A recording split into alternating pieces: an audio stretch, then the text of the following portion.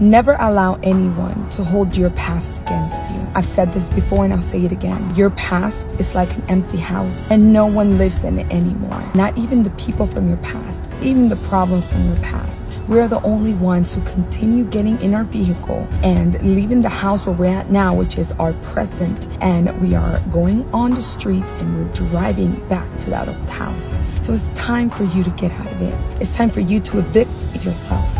Release it. Start fresh. You are not that same person. You're not connected to those same people. And you're not currently in those same cycles anymore. So release the past because the past doesn't even want you anymore. It has walked away from you.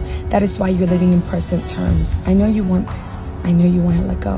And I know you're ready. And even when you feel like you're not ready, it may be anxieties. I encourage you to look around in your new home, your present home. Every second, you have a fresh start for a different life different you, for different outcomes.